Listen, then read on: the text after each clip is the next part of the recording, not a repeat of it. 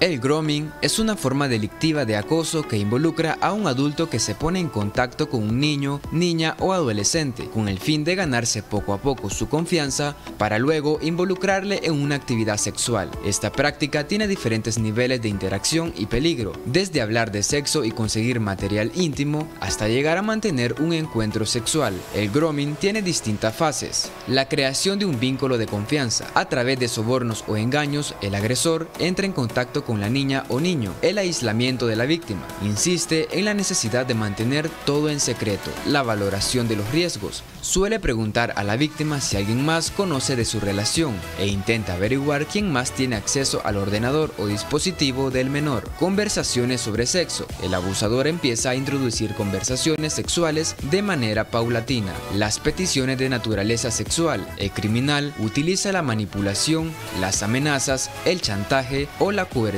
para que la víctima le envíe material sexual, relate fantasías sexuales o la relación culmine en un encuentro físico. Puedes prevenir estas acciones si rechazas los mensajes de tipo sexual o pornográfico. Debes exigir respeto. No aceptes en tu red social a personas que no hayas visto físicamente y a las que no conozcas bien. Y sobre todo, si se ha producido una situación de acoso, no cedas ante el chantaje y comunícalo inmediatamente con tus padres.